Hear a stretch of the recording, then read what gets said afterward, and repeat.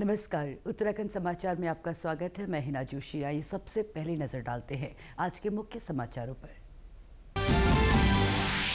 केंद्रीय गृह मंत्री अमित शाह, स्वास्थ्य एवं परिवार कल्याण मंत्री जगत प्रकाश नड्डा और रेल एवं सूचना और प्रसारण मंत्री अश्विनी वैष्णव सहित कई केंद्रीय मंत्रियों ने संभाला कार्यभार।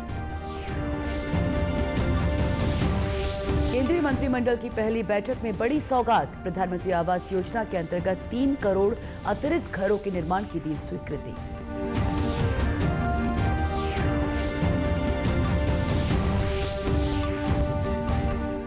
मुख्यमंत्री पुष्कर सिंह धामी ने 15 जून से पहले मानसून सीज़न की सभी तैयारियाँ पूरी करने के दिए निर्देश। कहा, जिलाधिकारी आपदा प्रबंधन के लिए नोडल अधिकारियों की करी तैनाती। और टिहरी के विभिन्न क्षेत्रों में कल रात जंगलों में फिर धधकी आग। वन कर्मियों ने समय रहते आबादी वाले क्षेत्रों पर बढ़ रही आग पर पाया काबू। और अब समाचार विस्तार से। केंद्र सरकार के मंत्रियों ने आज नई दिल्ली में अपने अपने विभागों में कार्यभार ग्रहण कर लिया। इनमें केंद्रीय गृह मंत्री अमित शाह, संसदीय कार्य मंत्री किरेन रिजिजू, केंद्रीय पर्यावरण, वन और जलवायु परिवर्तन परिवर्तन मंत्री भूपेंद्र यादव, विदेश मंत्री डॉक्टर एस जयशंकर, संचार मंत्री ज्योतिरादित्य सिंधिया, स्वास्थ्य और परिवार कल्याण मंत्री जगत प्रकाश नड्डा, ऊर्जा मंत्री मनोहर लाल खट्टर, खाद्य प्रसंस्करण और उद्योग मंत्री चिराग पासवान सहित कई केंद्रीय मंत्री शामिल हैं। वहीं अश्विनी वैष्णव ने रेल और सूचना एवं प्रसारण मंत्री का पदभार ग्रहण किया। सूचना एवं प्रसारण राज्य मंत्री डॉक्टर एल मुरुगन और सूचना एवं प्रसारण मंत्रालय के सचिव संजय जाजू ने श्री वैष्णव का स्वागत किया। कार्यभार संभालने के बाद पत्रकारों से बात करते हुए श्री वैष्णव ने कहा, जनता ने एक बार फिर प्रधानमंत्री नरेंद्र मोदी को देश की सेवा करने का आशीर्वाद दिया है। उन्होंने कहा, पिछले दस वर्षों में श्री मोदी लोगों के जीवन में बहुत बड़ा परिवर्तन लाए हैं। वे भारत की अर्थव्यवस्था को ग्यारहवें स्थान से पाँचवें स्थान पर ले आए हैं। माननीय प्रधानमंत्री श्री नरेंद्र मोदी जी को देश ने एक बार फिर आशीर्वाद देकर देश की सेवा का जो मौका दिया है देश की सेवा का मौका दिया है। माननीय प्रधानमंत्री श्री नरेंद्र मोदी जी की सरकार गरीबों को समर्पित है। आपने देखा, कल प्रधानमंत्री जी ने अपने पहले ही कार्यभार के पहले ही दिन गरीबों को समर्पित फैसले लिए हैं, किसानों को समर्पित फैसले लिए हैं, नौजवानों के लिए एक बहुत मज़बूत नींव खड़ी करनी है और हमारी नारी शक्ति, माँ और बहनों के लिए जो एक एम्पावरमेंट की सरकार रही है दस वर्षों की। उसी भावना के साथ सेवा करेंगे। प्रधानमंत्री श्री नरेंद्र मोदी जी को मेरा हृदय से आभार। सेवा का मौका दिया।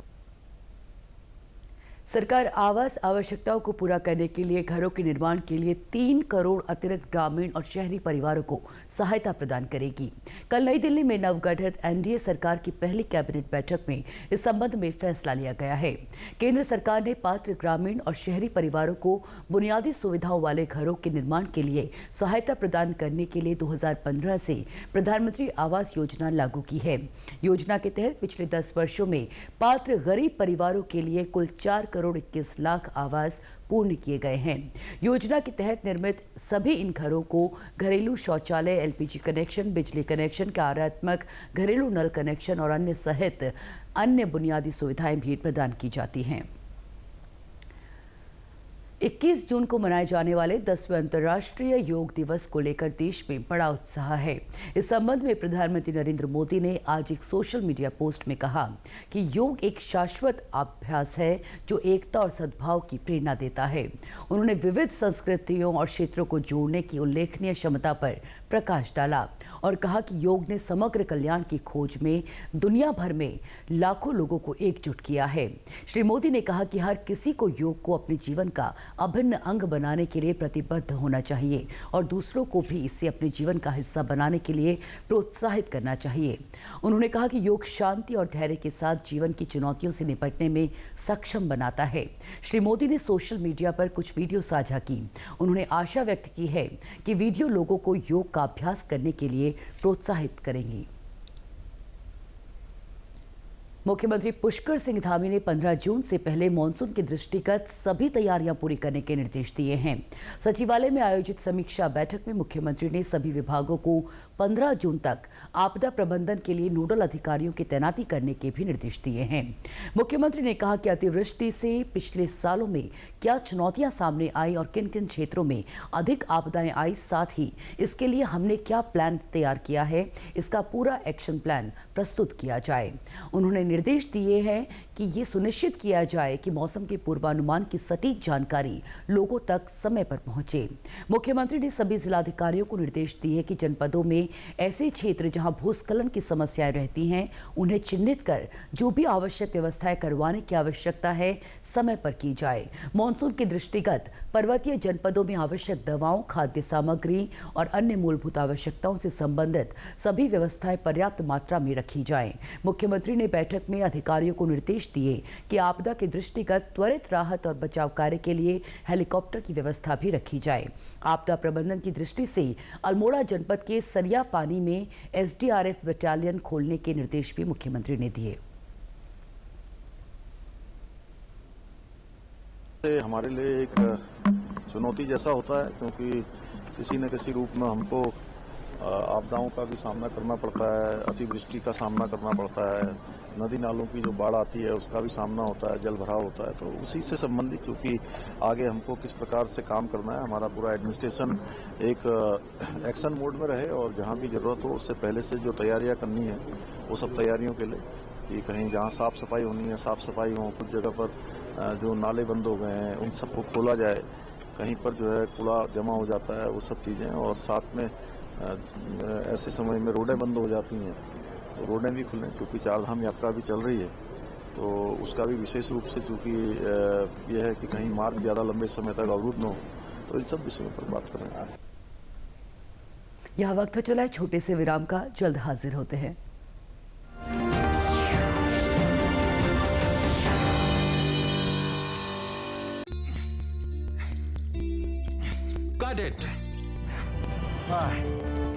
सोचिए। अगर असल ज़िंदगी में ऐसी हालत हो तो कितनी मुश्किलें होती हैं? लेकिन शुक्र है बैंकिंग के लिए नहीं। अगर आपकी उम्र सत्तर साल से अधिक हो या आप दिव्यांग हो तो बैंक आपको कुछ ज़रूरी बैंकिंग सुविधाएँ घर बैठे बैठे दे सकता है। आरबीआई कहता है जानकार बनिए सतर्क रहिए।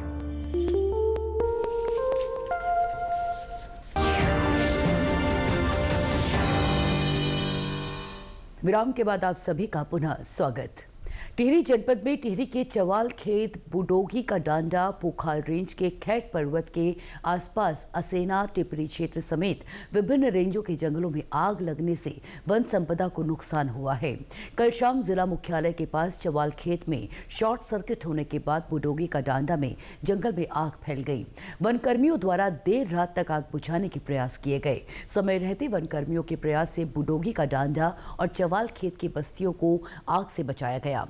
टिहरी की उप प्रभागीय वनाधिकारी रश्मि ध्यानी ने बताया कि मौके पर पहुँचे वन विभाग के कर्मचारियों द्वारा आग को बुझा दिया गया था, लेकिन इसके बाद कुछ अज्ञात लोगों ने जंगल में आग लगा दी, जिससे आग फैल गई। जो कल यहाँ पर आग लगी हुई थी चवाल खेत से और बुडोगी के आसपास के क्षेत्रों में, वो कल काबू कर ली गई है फायर टीम के हमारे और फायर टीम की संयुक्त टीम द्वारा। और अब तक अगर मैं टिहरी जनपद की बातें करूँ तो कुल इस वनाग्नि काल में 326 घटनाएँ हो चुकी हैं वनाग्नि की, जिसमें से एक घटनाएँ हमारे आरक्षित वन क्षेत्र में हुई हैं और एक घटनाएँ हमारे सिविल वन क्षेत्र में हुई हैं और कुल मिलाकर दोनों प्रकार की घटनाओं में अब तक 406 के आसपास हेक्टेयर हमारा वन भूमि प्रभावित हुई है। और इन सब के साथ साथ हमने असामाजिक तत्वों और राजक तत्वों के खिलाफ भी कार्रवाई करते हुए जनपद में अब तक कुल अस्सी प्राथमिकियाँ हमारी दर्ज हुई हैं। और इसी के तहत हम कार्रवाई कर रहे हैं। वहीं वनों में आग लगने से जनजीवन में भी इसका प्रभाव पड़ा है। जिला अस्पताल बौराड़ी के चिकित्सा अधीक्षक अमित राय ने बताया कि धुएँ के कारण रोगियों की संख्या में भी वृद्धि हुई है। एलर्जी और दमा के मरीजों को सांस लेने में दिक्कतों की ज़्यादा शिकायतें आ रही हैं। में आग का लगना थोड़ा कॉमन है हमारे पहाड़ों पे। आग लग रही है काफ़ी, जिससे धुंध बने हुए हैं। तो पेशेंटों में खासतौर से जिनको सांस की बीमारी है, उनको बहुत ज़्यादा दिक्कत हो रही है। वो भी आ रहे हैं। कुछ बच्चे हैं जो एलर्जिक कफ के साथ आ रहे हैं और बहुत से लोग जो हैं आँखों में जलन और इसके वजह से आ रहे हैं, जिसके वजह से हॉस्पिटल में नंबर ऑफ़ पेशेंट जो रिस्पायरेटरी ट्रैक वाले बढ़ गए हैं। मुख्य निर्वाचन अधिकारी डॉक्टर बीवीआरसी पुरुषोत्तम ने प्रदेश की दो विधानसभा सीटों में उपचुनाव के संबंध में राजनीतिक दलों के साथ बैठक की। मुख्य निर्वाचन अधिकारी ने सामान्य लोकसभा चुनाव 2024 के दौरान पूरे प्रदेश में शांतिपूर्ण तरीके से चुनाव संपन्न कराए जाने हेतु सभी राजनीतिक दलों का आभार व्यक्त किया। उन्होंने उपचुनाव के दौरान भी शांतिपूर्ण चुनाव प्रक्रिया के लिए सभी राजनीतिक दलों से इसी प्रकार के सहयोग की अपेक्षा की। मुख्य निर्वाचन अधिकारी ने सभी राजनीतिक दलों प्रतिनिधियों को संपूर्ण चुनाव प्रक्रिया की जानकारी देते हुए बताया कि निर्वाचन के दौरान मतदाता द्वारा पहचान हेतु फ़ोटो युक्त मतदाता पहचान पत्र के साथ ही 12 अन्य वैकल्पिक दस्तावेजों का प्रयोग भी किया जा सकता है। उन्होंने आदर्श आचार संहिता के संबंध में भी जानकारी दी। बद्रीनाथ विधानसभा में उपचुनाव को लेकर अपर जिला निर्वाचन अधिकारी अभिनव शाह ने राजनीतिक दलों और प्रेस प्रतिनिधियों के साथ बैठक करते हुए उपचुनाव कार्यक्रम की विस्तृत जानकारी दी। उन्होंने बताया कि बद्रीनाथ विधानसभा में होने वाले उपचुनाव को लेकर तैयारियाँ पूरी कर ली गई हैं, जहाँ आदर्श आचार संहिता लागू होने के साथ ही एफएसटी टीमों को सक्रिय कर दिया गया है। वहीं अन्य तैयारियाँ भी शुरू कर दी हैं। उन्होंने बताया कि बद्रीनाथ विधानसभा में कुल एक लाख दो हज़ार एक सौ पैंतालीस पैंतालीस मतदाता हैं, जिनमें से बावन पुरुष, उनचास महिला और दो अन्य मतदाता हैं। विधानसभा में 210 मतदेय स्थल हैं। चुनाव प्रक्रिया की जानकारी देते हुए बताया कि जनपद में आगामी 15 जुलाई तक आदर्श आचार संहिता प्रभावी रहेगी। इससे पूर्व 14 जून को अधिसूचना जारी की जाएगी। 21 जून को नामांकन की अंतिम तिथि 24 जून को नामांकन पत्रों की जाँच 26 जून को नाम वापसी की अंतिम तिथि 10 जुलाई को मतदान और 13 जुलाई को मतगणना की तिथि निर्धारित की गई है। राज्य की दो विधानसभा सीटों पर उपचुनाव की घोषणा होने के साथ ही राजनीतिक सरगर्मियाँ तेज हो गई हैं। कांग्रेस और भाजपा ने चुनाव तैयारी को लेकर बैठकों का दौर शुरू कर लिया है। ऐसा माना जा रहा है कि जल्द ही दोनों पार्टियाँ अपने अपने प्रत्याशियों के नामों की घोषणा कर देगी। वहीं कांग्रेस प्रदेश अध्यक्ष करण माहरा ने आज जनपद मुख्यालय गोपेश्वर और जोशीमठ में बद्रीनाथ विधानसभा उपचुनाव को लेकर कांग्रेस पदाधिकारियों और कार्यकर्ताओं की बैठक ली। इस दौरान उन्होंने कहा कि ये उपचुनाव कांग्रेस की प्रतिष्ठा का सवाल है। पार्टी और कार्यकर्ताओं को जीत के लिए अपनी पूरी ताकत झोंकनी होगी। प्रत्याशी चयन के मुद्दे पर उन्होंने कहा कि कार्यकर्ताओं की सहमति से ही योग्य प्रत्याशी का चयन किया जाएगा।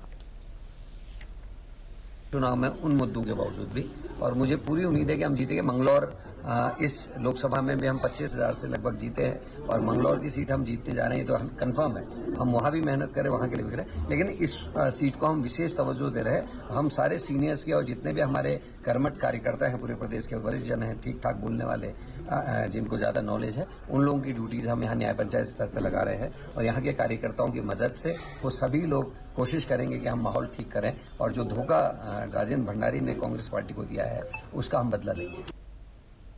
वहीं दूसरी ओर चमोली ज़िले में भाजपा के वरिष्ठ उपाध्यक्ष मनोज भंडारी ने कहा कि भाजपा ने उपचुनाव को लेकर अपनी तैयारियाँ शुरू कर ली हैं।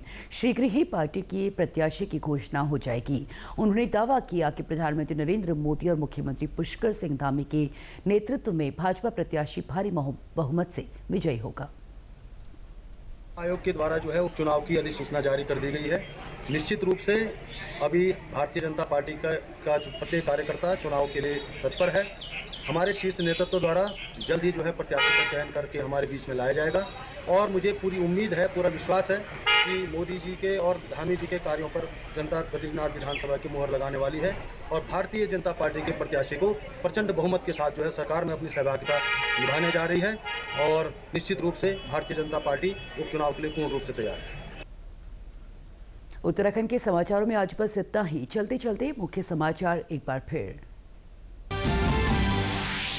केंद्रीय गृह मंत्री अमित शाह, स्वास्थ्य एवं परिवार कल्याण मंत्री जगत प्रकाश नड्डा और रेल एवं सूचना और प्रसारण मंत्री अश्विनी वैष्णव सहित कई केंद्रीय मंत्रियों ने संभाला कार्यभार।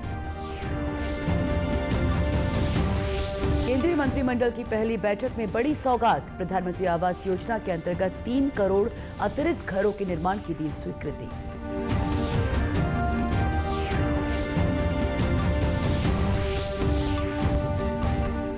मुख्यमंत्री पुष्कर सिंह धामी ने 15 जून से पहले मानसून सीज़न की सभी तैयारियाँ पूरी करने के दिए निर्देश। कहा, जिलाधिकारी आपदा प्रबंधन के लिए नोडल अधिकारियों की करी तैनाती। और टिहरी के विभिन्न क्षेत्रों में कल रात जंगलों में फिर धधकी आग। वन कर्मियों ने समय रहते आबादी वाले क्षेत्रों पर बढ़ रही आग पर पाया काबू। प्रदेश से जुड़ी अपडेट्स के लिए आप हमसे सोशल मीडिया के माध्यम से भी जुड़ सकते हैं। हमारा एक्स हैंडल है डीडी न्यूज़ अंडरस्कोर देहरादून। हमारा फेसबुक पेज है डीडी न्यूज़ उत्तराखंड। हमारे YouTube channel DD news Uttarakhand को आप सब्सक्राइब करें और हमारे Instagram page DD news Uttarakhand को भी आप फॉलो कर सकते हैं। नमस्कार।